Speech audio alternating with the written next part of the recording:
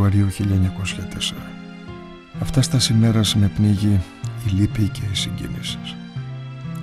Αφήνω διαπάντοτε ίσως τας υπάρξεις τας οποίας λατρεύω υπερπανάλοη σε αυτόν τον κόσμο.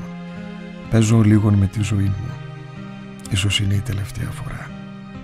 Το αγγελάκι μου έχει φοβερό κέφι. Ο Μίκης μου και αυτός παίζει μαζί μας. Διανέμω τις φωτογραφίες μου, δίδω εις όλους και όλες αναμίαν.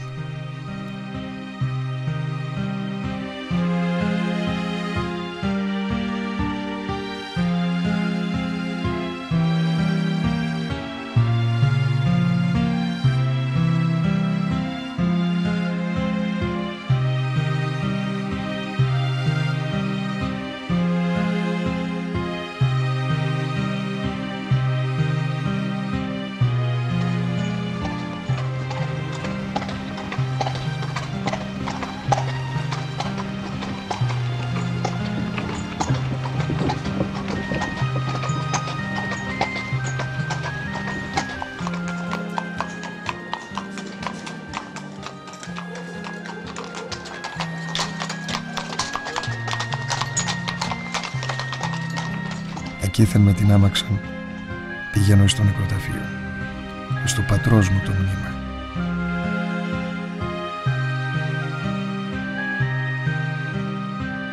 Κάθομαι όλη την ώρα παρά τον τάφο του. Αισθάνομαι την ψυχή του πολύ κοντά μου. Ενθυμούμε με πόση φωτιά αγαπούσε αυτό στην πατρίδα. Ενθυμούμε ότι ορκίστην επί του φερέτρου του να αποθάνω εν ανάγκη πέρα αυτής ενθυμούμε πόσον υπέφερε δια την καταστροφή του 1897. Όλες αυτές οι σκέψεις με δίδουν θάρρος και επαναφέρουν ολίγην γαλήνινη στην ψυχή μου. Διότι σκέπτομαι ότι και αν φωνευθώ θα επανέβρω την ψυχή του Αγίου εκείνου ανθρώπου. Κόπτω λίγους μενεξέδες από τον τάφο του.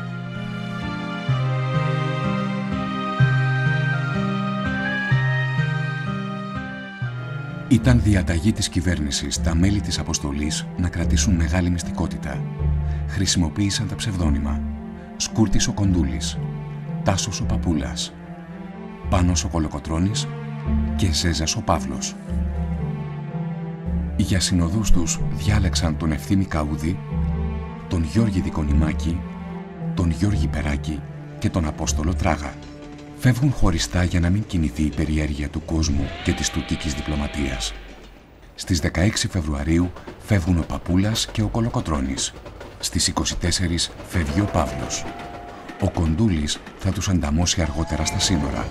Η εντολή είναι να γνωρίσουν τον τόπο και τους ανθρώπους, να ορίσουν στελέχη για μελλοντικές εργασίες, να πληροφορηθούν από κοντά τις ανάγκες και τις επιθυμίες των μακεδονικών πληθυσμών, να αποφεύγουν κάθε σύγκρουση με τις αρχές ή με τους κομιτατζίδες. Ένας λοχίας θα τους οδηγήσει ως την ασπροκλησιά για να περάσουν ασφαλέστερα τα σύνορα.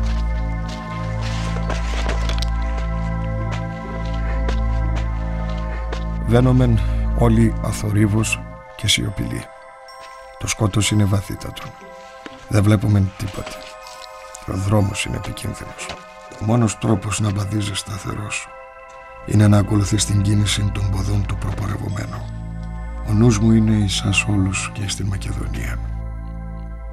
Είναι η ώρα 11. Στο πατρό σου είναι όλοι περί το τσάι.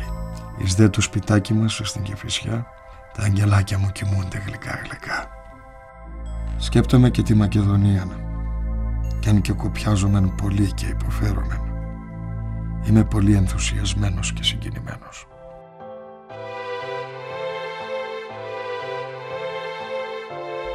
Τρίτη Εσπέρα 2 Μαρτίου 1904 Θέσεις Μελισσόπετρα Είστε έξι μετά μεσημβρίαν ανέβηκα μόνος σε έναν λοφίσκο δια να σας συλλογιστώ.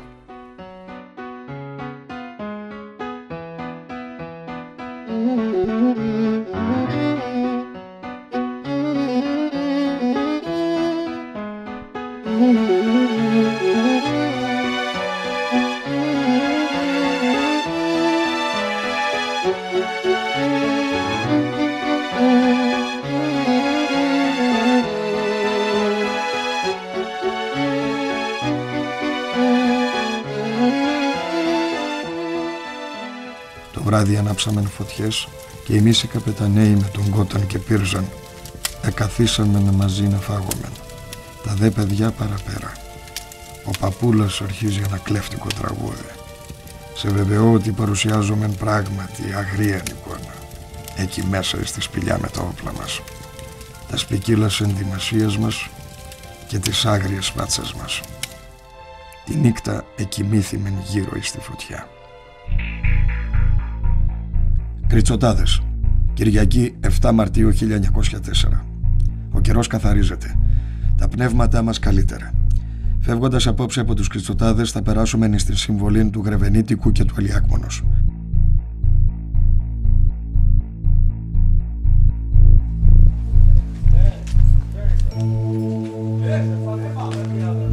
Εκεί θα λιμεριάσουμε εις Παλαιόκαστρον, κάτω της σχετής της.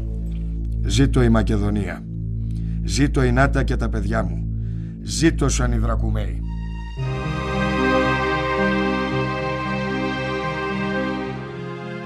Δευτέρα 8 Μαρτίου 1904 Ώρα 10 προμεσημβρίας. Ζήτω η Μακεδονία. Ετελείωσαν να τα μου τα βάσανά μας.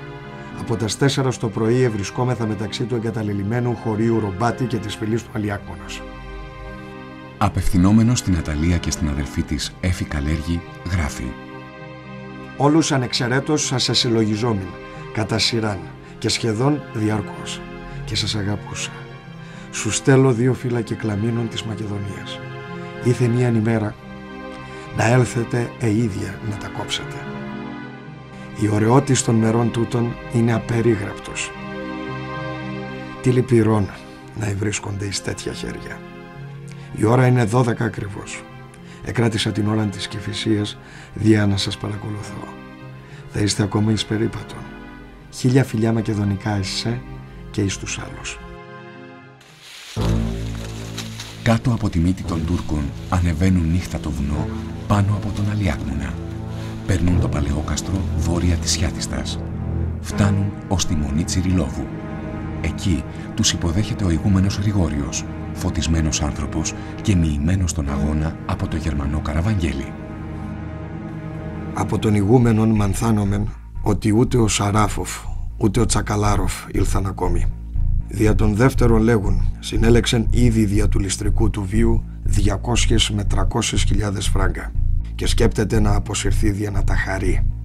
Άξιος αντιπρόσωπός του ως προς την ομότητα και το φανατισμό είναι ο φοβερός Μήτρο Βλάχος, ο οποίος έλαβε διαταγή να εξοντώσει πάση θυσία τον Κόταν.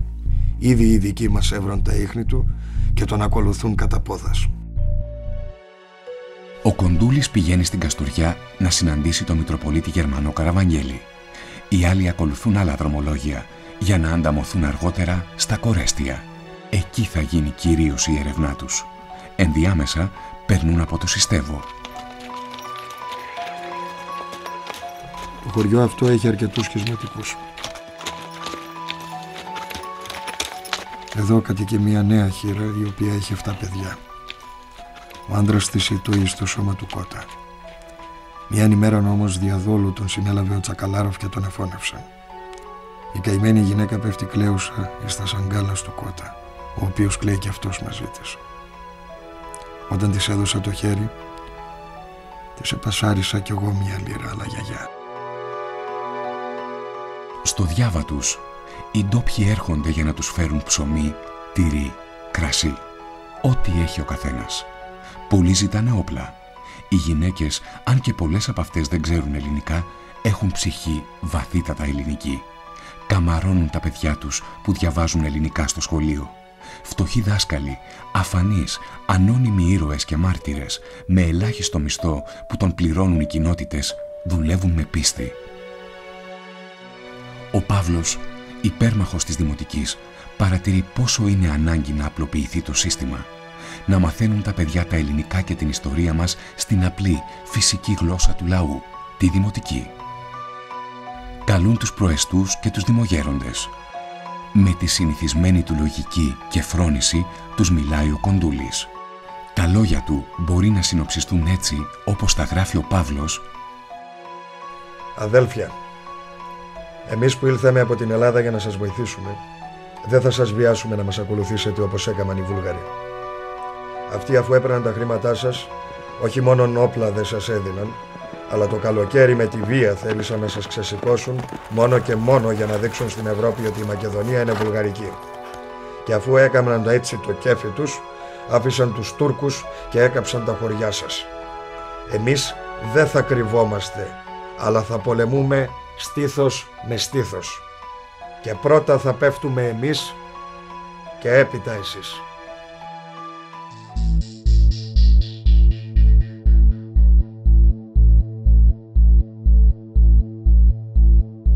Από που περνούν, στη Ρούλια, στη Νόστιμα, στο Ζέλοβο.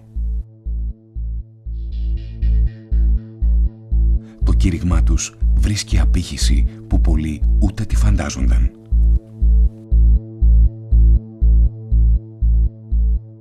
Νάτα μου. Ήρθαν οι προεστοί από το πισωδέρι. Συγκινημένοι μας φιλούν. Πόσον ενθουσιασμόν κρύβουν στα στήθη των αυτοί οι πατριώτες, τους οποίους οι επίσημοι μας ουδέποτε ειδηνήθησαν να γνωρίσουν. Είμαι θα τώρα 30 καλώς οπλισμένοι και καθημερινώς μας παρακαλούν να έλθουν και άλλοι. Οι οδηγίες μας όμως δεν μας επιτρέπουν τώρα την συγκρότηση σωμάτων, αλλά μόνο να αναγνώριση.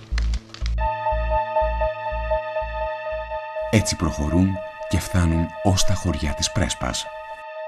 Εκεί φτάνει επίσημο κυβερνητικό μήνυμα που τον ανακαλεί στην Αθήνα. Η τουρκική πρεσβεία διαμαρτυρήθηκε γιατί είχε παρατηρήσει την απουσία του Παύλου από την Αθήνα. Είχε πληροφορηθεί ότι βρισκόταν στη Μακεδονία. Ο Παύλος ταράζεται, αγανακτεί, αρνείται ξεκάθαρα να γυρίσει πίσω, αφήνοντας στη μέση τη δουλειά που μόλις άρχισε. Λέγει ότι η μετάκλησής μου είναι προσωρινή. Αλλά φοβούμαι ότι δεν θα έχω τη δύναμη να αποθάνω και δευτέραν φοράν, χωρίς να υπολογίσω τους ματέους κόπους και κινδύνους μεταβάσεως και επανόδου. Ο Κοντούλης προσπαθεί να τον πείσει. Στο τέλος τον διατάσσει σαν ανώτερός του. Ο Παύλος πάει στο μοναστήρι να συναντήσει τον Ιώνα.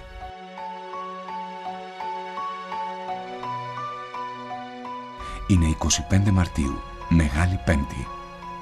Αυτός του επαναλαμβάνει τη διαταγή της κυβέρνησης και τον συμβουλεύει να επιστρέψει.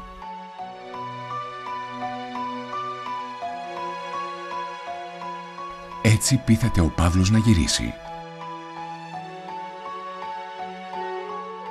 Σκέφτεται να εμφανιστεί για λίγο στην Αθήνα, να τον δουν και να ξαναγυρίσει. Στις 29 Μαρτίου 1904 παρουσιάστηκε στην κυβέρνηση για να αναφέρει την ωστότε εργασία της αποστολής του. Του επαναλαμβάνεται η διαβεβαίωση πως θα τον ξαναέστελαν γρήγορα πίσω στη Μακεδονία με όπλα αυτή τη φορά για όσους τα ήθελαν. Η κυβέρνηση όμως ανακαλεί και τους άλλους αξιωματικούς στην Αθήνα, γιατί η επίσημη αναφορά του Κοντούλη δεν συμφωνεί με τις εκτιμήσεις των δύο άλλων της αποστολής, του Παπούλα και του Κολοκοτρώνη. Ο Παύλος γίνεται έξω φρενών. Σε έντονη συζήτηση με τον Κολοκοτρώνη στο γραφείο του Στέφανου Τραγούμη δεν κρατιέται και του μιλάει υβριστικά. Ο Κολοκοτρώνης τον καλεί σε μονομαχία, στη διάρκεια της οποίας ο Παύλος τον τραυματίζει ελαφρά στο πόδι. Στα χαρτιά του Παύλου βρίσκεται ένα σχέδιο γράμματος προς τη μητέρα του αντιπάλου του. Της γράφει ότι δεν θα σκοτώσει ούτε θα κτυπήσει βαριά το γιο της. Τα βουλγαρικά κομιτάτα οργίαζαν πάλι. Τα τουρκικά αποσπάσματα όλο και πυκνότερα απειλούσαν τη ζωή των χωρικών.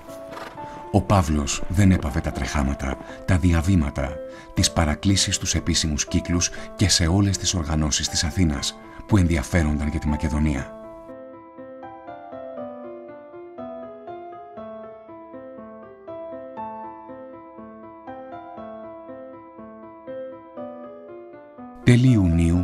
Δέχθηκε επισκέψεις από την Κοζάνη. Του ζητήθηκε να οργανώσει ενεργό άμυνα. Έτσι ο Παύλος πήρε 20 άδεια από τον διοικητή του και στις 10 Ιουλίου, ξημερώματα, φεύγει πάλι για τη Μακεδονία, με σκοπό να συναντηθεί με στελέχη της οργάνωσης στην Κοζάνη.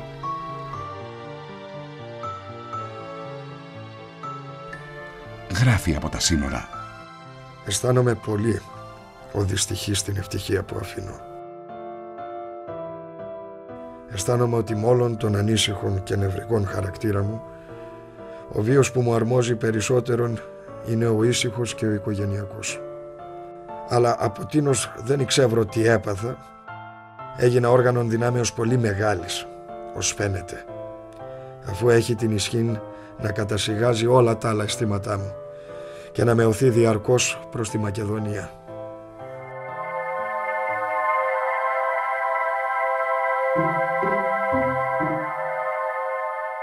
Με τον φίλο του Πύρζα φτάνει στην Κοζάνη στις 21 Ιουλίου του 1904. Κρυμμένος 15 ημέρες σε ένα φιλικό σπίτι, έρχεται μυστικά σε επαφή με φίλους του. Περιοδεύει σαν ζωέμπορος γύρω από την Κοζάνη, προβαίνει σε συμφωνίες, ορίζει τα πρόσωπα που θα χορηγούν χρήματα, τους ταχυδρόμους, τους οδηγούς, τα παλικάρια που θα έπαιρναν όπλο. Συναντά δυσκολίες, δισταγμούς, κάπου κάπου και μικροψυχίες, αλλά τον στηρίζουν πάντα η αγάπη και η πίστη των αληθινών πατριωτών. Πριν ξαναγυρίσει στην Αθήνα, ανακοινώνει στο Μακεδονικό Κομιτάτο το πόρισμα της εργασίας του και τη γνώμη του για τον αγώνα. Ας γνωρίζουν ότι υπό ουδεμίας φιλοδοξίας διαπνέομαι. Και αν στείλουν και αυτοί κανένα σώμα αργότερα, θα θέσω εις την διάθεσή των την εργασία μου και θα ταχθώ κι εγώ υπό τας διαταγάστων. Στην Αθήνα βρίσκει αυτή τη φορά καλύτερη ατμόσφαιρα. Υποβάλλει την έκθεσή του στους αρμόδιους και φεύγει πάλι για τη Μακεδονία. Η εντολή του Μακεδονικού Κομιτάτου είναι να αναλάβει την αρχηγία των σωμάτων Καστοριάς Μοναστηρίου. Λάρισα 21 Αυγούστου 1904 Αναλαμβάνω αυτόν τον αγώνα με όλη μου τη ψυχή και με την ιδέα ότι είμαι υποχρεωμένος να τον αναλάβω. Στα σύνορα φόρεσε ο Παύλος τον Τουλαμά, τα φυσεκλίκια και τα όπλα του και πρώτη φορά φανερώθηκε ως καπετάνιος Μίκης Ζέζας στα παλικάρια του. Ήταν όλοι μαζί καμιά τριανταριά. Ο Πύρζας ως υπαρχικός και ανάμεσά τους ο Κατσαμάκας, ο Ανδρουλής, ο Δικόνιμος, ο Λιώντας με τους Κοζανίτες και ο Λαμπρινός Βρανάς.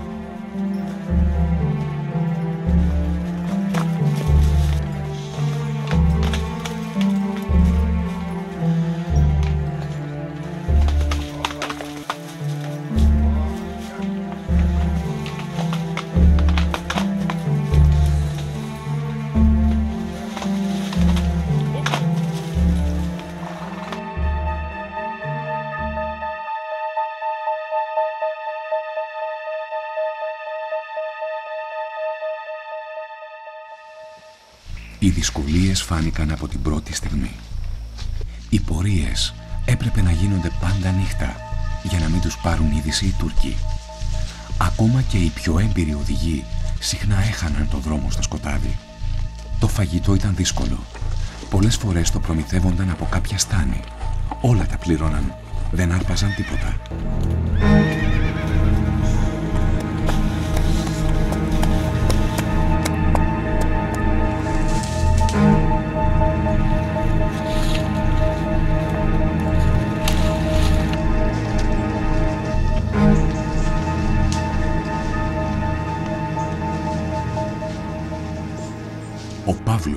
Μέσα σε όλες τις κακοχίες και την κούραση προλαβαίνει να θαυμάσει την φυσική ομορφιά του τοπίου.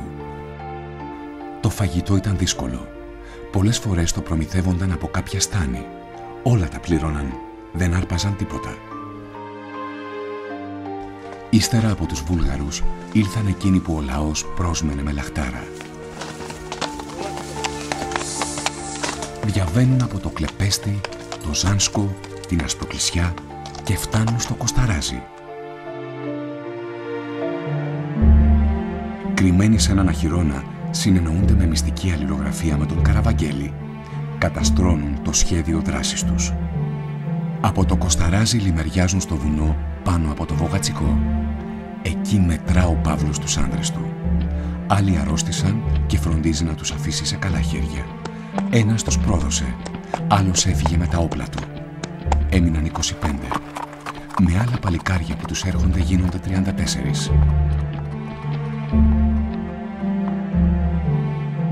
Τσιρίλοβο, Κουμανίσοβο, Λέχοβο, Στρέμπενο, Προκοπάνα, Μπελκαμένη, Νεγοβάνη, Νερέτη. Από παντού περνά και ξαναπερνά ο Παύλος. Με την παρουσία του προστατεύει, εγκαρδιώνει, συμφιλιώνει. Όσο μπορεί, δεν καταφεύγει στη βία.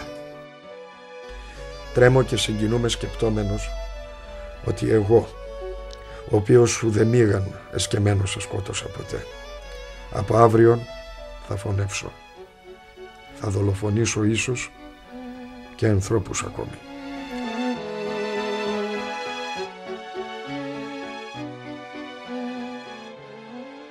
Δεν επιτρέπεις στους άντρες του να προβαίνουν σε αντεκδικήσεις. Γι' αυτό στείνει δικαστήριο και όποτε κρίνει πως μπορεί να συγχωρέσει, συγχωρεί.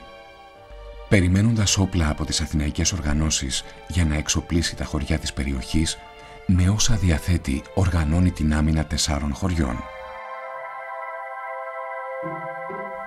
Ο χειμώνας ερχόταν βαρύς. Το σώμα χωρισμένο σε ομάδες προχωρεί προς το Ζέλοβο. Είναι τόσο κουρασμένοι οι άνδρες που ορίζει να σταθούν στη Στάτιτσα για να στεγνώσουν και να κοιμηθούν. Ο ίδιος σε ένα σπίτι με τέσσερις άλλους. Ο Βολάνης με μια άλλη ομάδα σε ένα διπλανό. Ξαφνικά ειδοποιούνται πως μπαίνει στο χωριό τουρκικό στρατός. Ο κομιτατζής Μητροβλάχος τους είχε ειδοποιήσει ότι τάχα ο ίδιος με τη συμμορία του κρυβόταν στο χωριό. Οι Τούρκοι πλησιάζουν το σπίτι που κρυβόταν ο Βολάνης. Ο Παύλος διατάζει να μην πυροβολήσει ακόμα κανείς. Οι Τούρκοι κτυπάνε με τα κοντάκια των όπλων την πόρτα και φωνάζουν ότι θα κάψουν το σπίτι. Ο Παύλος με ένα από τα παλικάρια του, τον Τίνα, είχαν πιάσει τα παράθυρα. Σε λίγο άρχισαν να χτυπούν και την πόρτα του δικού του σπιτιού. Σήκωσε ο Παύλος το όπλο και πυροβόλησε. Οι πυροβολισμοί γενικεύτηκαν. Ο Στρατινάκης πρότεινε να κατέβουν στο υπόγειο για να μην καούν σαν τα ποντίκια. Κατέβηκαν από την ξύλινη σκάλα στο στάβλο. Είδαν ένα Τούρκο που πλησίαζε να μπει και πυροβόλησαν. Άρχισε να νυχτώνει. Σε λίγο βγήκε ο Στρατινάκης στην αυλή να δει τον σκοτωμένο. Προχώρησε και ο Παύλος στον περίβολο του σπιτιού. Ακούστηκε ένας πυροβολισμός. Γύρισε ο Παύλος πίσω λέγοντας «Στη μέση με πήρε παιδιά». Κατάλαβε αμέσως πως δεν ήταν πια για ζωή. Όπως αργότερα μετέφερε ο Πύριζα στην Αταλία, ο Παύλος του παρήγγειλε «Το σταυρό να τον δώσει στη γυναίκα μου και το τουφέκι, όπως σου είπα, του Μίκη και να τους πεις ότι το καθήκον μου το έκαμα». Όσο περνούσε η ώρα, πονούσε δυνατότερα και ονομάτιζε τα παιδιά του. «Πονώ», είπε σιγά και ξεψύχησε. Ήταν Τετάρτη νύχτα, 13 του Οκτωβρίου του 1904. Οι Τούρκοι αποσύρθηκαν κατά τη συνηθιά τους να μην μπλέκονται σε μάχη στο σκοτάδι. Ούτε κατάλαβαν πως είχαν χτυπήσει κάποιον και ιδίως τον αρχηγό. Ο Πύρζας βγήκε με τους άλλους στο σκοτάδι. Αφού ζήτησε από τις γυναίκες του σπιτιού να κρύψουν τον νεκρό, έφυγαν. Αυτές τον έθαψαν τα ξημερώματα σε ένα λάκκομα κάτω από το εξοκλήσι του προφήτη Ηλία. Στις 17 Οκτωβρίου ημέρα Κυριακή ειδοποιεί το πρόξενος του μοναστηρίου. Αυτός με τη σειρά του στέλνει την τραγική είδηση στο Υπουργείο Εξωτερικών στην Αθήνα. Παρελθούσαν Τετάρτην, 13η τρέχοντος, η μετέρων ευρεθέντων εν χωρίο Στάτιτσα και περιόραν Πέμπτην μετά μεσημβρίαν, ήρξα το πυρός κατά των ημετέρων. Οι μέτεροι απήντησαν γενναίως, με τα δύο δε ανταλλαγήν πυροβολισμών. Απεφάσισαν να επιχειρήσουν συνέξοδον. Παύλος Μελάς όρμησε πρώτος επικεφαλής αυτών, οπότε σφαίρα τουρκική πλήξασα αυτόν κατά την οσφιακήν χώραν, ετραυμάτισε θανασίμως. Σύντροφοί του τον εναπέθεσαν παρακειμένο η Κίσκο, ένθα, με τα ημισή ανώραν, διαρκούσεις πάντοτε συμπλοκής, εθνικός ήρος, ησύχασε. Παράλληλα το προξενείο στέλνει τον Βασίλη Αγοραστό να φροντίσει για την ταφή του νεκρού. Φτάνει στο Ζέλοβο. Από εκεί στέλνει άνθρωπό του στη Στάτιτσα για να παραλάβει κρυφά το σώμα και να το μεταφέρει στο Ζέλοβο. Η τουρκική κυβέρνηση έμαθε από τις ελληνικές εφημερίδες το θάνατο του Παύλου και διέταξε να κάνει ο στρατός καινούργιες έρευνες στη Στάτιτσα. Οι Τούρκοι φτάνουν ενώ έχει αρχίσει η εκταφή του νεκρού. Ο άνθρωπος του αγοραστού, όπως αργότερα ο ίδιος ανέφερε, δεν προλάβαινε να πάρει το νεκρό. Για να αποφύγει την αυτόφορη σύλληψη, έκοψε το κεφάλι και έθαψε ξανά το σώμα. Κατορθώνει να διαφύγει έχοντας στο σακιδιό του το κεφάλι του αρχηγού του και να φτάσει στο Ζέλοβο. Ο αγοραστός το μεταφέρει στο πισοδέρι. Τη νύχτα της 18ης προς 19η Οκτωβρίου, μαζί με τον θρηλυκό Παπασταύρο, κυδεύει μυστικά το κεφάλι στο παρεκκλήσι της Αγίας Παρασκευής, στη μονή της Αγίας Τριάδας. Οι Τούρκοι πληροφορήθηκαν την ταφή του Μελά από τις ελληνικές εφημερίδες και ξαναγύρισαν στη Στάτιτσα. Βρήκαν το ακέφαλο σώμα και το μετέφεραν στην Καστοριά. Εκεί το παρέδωσαν στις τουρκικές αρχές. Ο Μητροπολίτης Γερμανός απέτησε να του δοθεί το σώμα επιμένοντας «Αυτό είναι δικό μου», που του το παρέδωσαν. Ο ίδιος γράφει το τέλος του δράματος στον Ιωνα Δραγούμη. Τη 23η του απέσιου μηνός μετέφερεν επί κραβάτου εις την πόλη μόνο στρατός το ιερόν σώμα του πολυκλάυστου μας εθνομάρτυρος. Ητήμασα τον ένδοξον τάφον του εν το περιβόλο του Βυζαντινού ναού υπό δύο δεντρίλια απέναντι του παραθύρου μου. Τη δε επαύριον Κυριακή, όρθρου βαθέως, περιέδεσα τες μαρτυρικάς χείρας του με εν μετάξινων μαντιλιών μου. Κατέθεσα επί τους στήθους του εν Ευαγγέλιον, ένα σταυρόν και μίαν εικόνα και πριν αρχίσει η λειτουργία ετελέσαμε την κηδεία του. Όταν έφτασε στην Αθήνα η είδηση του θανάτου του, ταράχθηκε ο τόπος όλος. Ακόμα και οι αδιάφοροι, ακόμα και εκείνοι που τον έβρισκαν υπερβολικά παράφορο, πίστηκαν από τη θυσία του. Ο μακεδονικός αγώνας πήρε καινούρια τροπή. «Σε κλαίει λαός», έγραφε ο Παλαμάς. «Πλατιά του ονείρου μας η γη και απόμακρη και γέρνεις εκεί και σβείς γοργά η ιερή στιγμή σαν πιο πλατιά τη δείχνεις και τη φέρνεις σαν πιο κοντά. Στη Μακεδονία γεννήθηκαν δημοτικά τραγούδια. Αυτόματα ξεπίδησε ο θρύλος πως είχε περάσει από παντού ο Παύλος. Ακόμα και στα μέρη όπου δεν είχε πατήσει το πόδι του, επέμεναν όλοι πως τον είχαν δει με τα μάτια τους. Το σημαντικότερο όμως ήταν ότι ενέπνευσε τόση φιλοπατρία στον ελληνισμό εντός και εκτός του ελληνικού κράτους ώστε οι τάξεις των σωμάτων πύκνωσαν απίστευτα και οι στρατηγικοί χειρισμοί έγιναν εντονότεροι. Ο αγώνας αυτός δεν ήταν πλέον των ανταρτών της Μεθορίου, ήταν όλων των Ελλήνων. Σταθμός πραγματικός στην εθνική συγκρότηση. Λίγες ημέρες μετά το θάνατο του Μελά διέσχισε τη Μεθόριο το σώμα του Κατεχάκη. Στα μέσα Νοεμβρίου ακολούθησε ο Τσόντος. Μαζί με την ομάδα Καούδη έδωσαν τα πρώτα κτυπήματα στη βουλγαρική παράταξη και αποκατέστησαν το ελληνικό γόητρο στα μάτια του ντόπιου πληθυσμού. Ω κυρίαρχη μορφή σε οργανωτικό επίπεδο πρόβαλε ο Γενικός Πρόξενος Θεσσαλονίκης Λάμπρος Κορομιλάς. Μαζί με μια ομάδα νέων αξιωματικών συνέχισε την κατάρτιση ομάδων για τον ένοπλο αγώνα. Πρώτοι επιλέχθηκαν οι αξιωματικοί, Εξαδάκτυλος. Κωνσταντίνος Μαζαράκης Ενιάν. Σπυρομήλιος. Μωραΐτης Κάκαβος. Και στη συνέχεια ο Αλέξανδρος Μαζαράκης Ενιάν και ο Αβράσογλου. Μαζί τους θα πρωταγωνιστήσουν ο Νικηφόρος, ο Τέλος Άγρας, ο Κάλας και τόσοι άλλοι ήρωες που μας τους σύστησε η Πινελόπη Δέλτα μέσα από τα βιβλία της ο θάνατος του Μελά ενέπνεε σταθερά. Ο ένοπλος Μακεδονικός Αγώνας ανακόπηκε το 1908 με την επανάσταση των Νεοτούρκων, την παραχώρηση εκ μέρους τους γενικής αμνηστίας και την υπόσχεση για ισοπολιτεία όλων των εμπολέμων. Για τον ελληνισμό, ο τετραετής αγώνας υπήρξε ιδιαίτερα επιτυχημένος. Στερέωσε την ελληνική υπεροχή στο Μακεδονικό Νότο ενίσχυσε την ελληνική παρουσία στην αμφισβητούμενη μεσαία ζώνη της Μακεδονίας. Αναπτέρωσε το φρόνημα των ντόπιων και διατράνωσε προς τις ευρωπαϊκές δυνάμεις ότι στη Μακεδονία ο ελληνισμός αποτελούσε τον ουσιαστικότερο παράγοντα που θα διαμόρφωνε το μέλλον της. Πολλοί ζουν ακόμη που θα θυμούνται το γοργό πέρασμα του Παύλου Μελά από τον τόπο τους. Τα παιδάκια τα ξανθά της Μακεδονίας που τα χάιδευε, που τα έπαιρνε στα γόνατά του, αναθυμούμενο στα δικά του, θα είναι τώρα άνδρες. Πολλοί θα έχουν αγωνιστεί και στον τόπο τους και στη Μικρασία και στον πόλεμο του 40. Αλλά και από τους πατέρες τους όσοι ζουν θα θυμούνται το ωραίο παλικάρι από την Αθήνα που τα φύγει όλα για να πάγει να στηρίξει έναν αγώνα τραχή στη Μακεδονία. Αυτόν τον αγώνα τον είχαν στήσει οι ίδιοι και οι πατέρες τους στην αλήτρωτη ακόμα χώρα για να σώσουν την ελληνικότητά της, το δικαίωμα να ζουν με τις δικές τους παραδόσεις στην οικογένειά τους, το δικό τους των πολιτισμών το χιλιόχρονο.